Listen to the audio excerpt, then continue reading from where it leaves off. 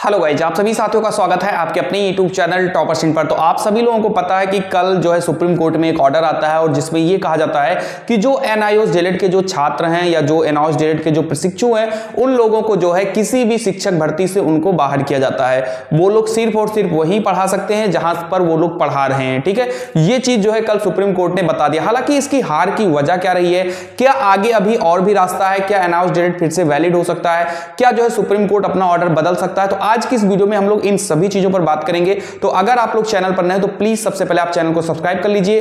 Bell icon को आप ज़रूर दबा दीजिए, जिससे आपको इसी प्रकार की रियल और ऑथेंटिक अपडेट आपको मिलती रहे। तो चलिए स्टार्ट करते हैं वीडियो को।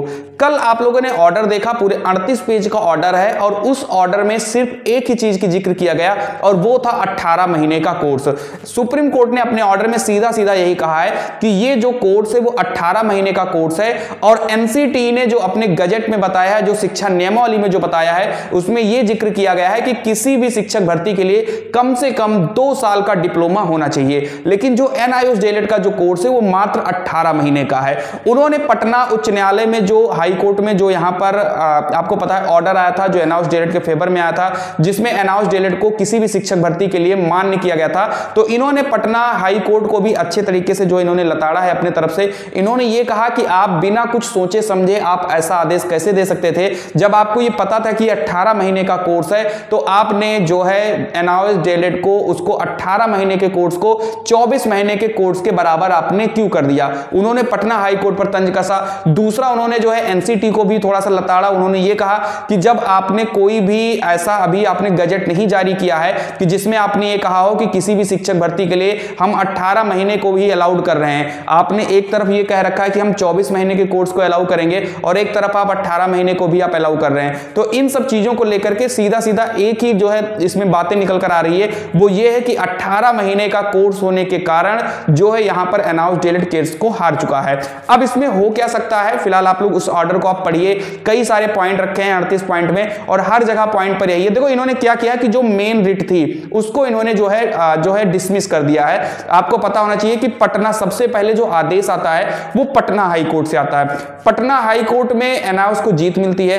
अब पटना हाई कोर्ट को देखकर त्रिपुरा हाई कोर्ट भी जो है एनाउंस को जीत दे देती है और पटना और त्रिपुरा को देखकर उत्तराखंड भी जीत दे देती है। तो इसीलिए जो सुप्रीम कोर्ट है, उसने पटना हाई कोर्ट के ही जजमेंट को रद्द कर दिया है। अब जैसे ही उन्होंने पटना हाई कोर्ट के जजमेंट को रद्द किया तो अपने आप ही त्रिपुरा का भी रद्द हो गया और अपने आप ही उत्तराखंड का भी रद्द हो गया। तो इस तरीके से जो एनाउंस जेलेड है, वो सिर्फ़ और सिर्फ़ इसीलिए हार गया क्योंकि वहाँ पर क्या था कि उसको 18 महीने का कोर्स बता दिया गया और कहीं ना कहीं एक सरकार की गलती या एनसीटी की गलती हम कह सकते हैं, जिसका खामियाजा 14 लाख एनाउस जो प्रशिक्षु हैं, वो उसको भोग रहे हैं। ये चीज़ यहाँ पर मैं आपको बता दूँ।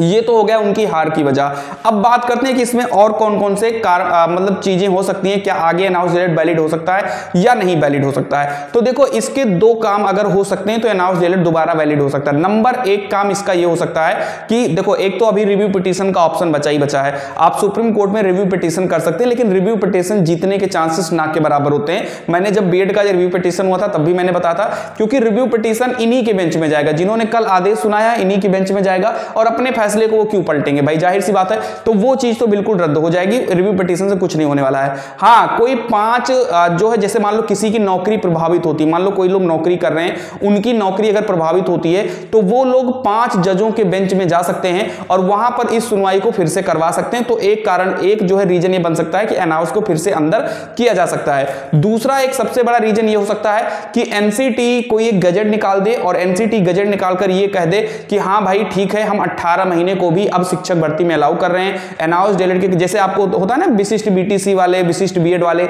जो एक साल वाले हैं, उन लोगों को भी अलाउ किया गया है। तो उसी तरीके से अगर अनाउंस डेलेट का कॉलम उसमें जोड़ दें अपने गजट में, और ये कह दें कि अनाउंस डेलेट को भी हम किसी भी शिक्षक भर्ती के लिए अलाउ करते हैं तो आप लोग जो है बच सकते हो। हालाँकि ये सब करवाना आसान नहीं, इसमें बहुत मेहनत लगेगा। एनसीटी को गजट में अपना अनाउंस डेलेट का ज़िक्र करवाना, उसको डलवाना, फिर पाँच बेंच में जाकर वहाँ से ऑर्डर को पलटवाना, ये छोटी मोटी काम नहीं, बहुत बड़ा काम है। लेकिन मैं यही कह रहा हूँ कि असंभव भी नहीं है, ठीक है? अगर आप मेहनत करते हो, चौदह लाख लोग है, कहने के लिए तो आप चौदह लाख लोग हो, अगर आप एकजुट हो जाओ, चीज़ों को अच्छे तरीके से आप करिए, अपनी बातों को रखिए तो बहुत कुछ चीज़ें यहाँ पर हो सकती है। बाकी अगर मुझे कोई भी अपडेट मिलती है, जैसे अनाउंस की तरफ़ से कोई भी अपडेट मिलती है, जो छात्र मुझे अपडेट देते हैं, उनके अध्यक्ष कोई अपडेट देते हैं, या जो भी है, भाई सभी का अपना अपना संगठन है, अगर वो लोग मुझसे कोई हेल्प मांगते हैं, या कुछ भी चीज़ें हैं तो मैं आपको इस चैनल के माध्यम से हेल्प करने की ज़रूर कोशिश करूँगा, ठीक है? बाकी बहुत सारे लोग कल से ही आ रहे हैं, मेरे वीडियो के नीचे कमेंट कर रहे हैं। सर आप भी एनाउंस के कैंडिडेट हैं। भाई, मेरे, मैं अनाउंस भी किया हुआ हूँ, मैं बी भी किया हुआ हूँ, मैं रेगुलर डेलेट भी किया हुआ हूँ, मैं सब कुछ किया हूँ। भाई, आप लोगों को जो लगता है, लगी, बस यही है कि भाई, जिसके साथ गलत होता है, मैं उसके साथ स्टैंड करता हूँ, मैं उसके साथ हमेशा खड़ा रहता हूँ। फिर चाहे वो बी हो, चाहे वो डेलेड हो, या किसके साथ भी गलत होगा, तब भी हम उनके साथ रहेंगे। बाकी आप लोग को जो मन में आया, आप कहिए। बाकी अनाउंस डेलेट के साथ मैं अभी भी हूँ, पहले भी था। अगर कोई ज़रूरत होती है अनाउंस डेलेट कैंडिडेट को तो मैं उनकी हेल्प ज़रूर करूँगा। बाकी आप चैनल पर नए तो प्लीज़ सब्सक्राइब कर लीजिए। बेल आइकन को आप ज़रूर दबा दीजिए। जय हिंद, जय भारत।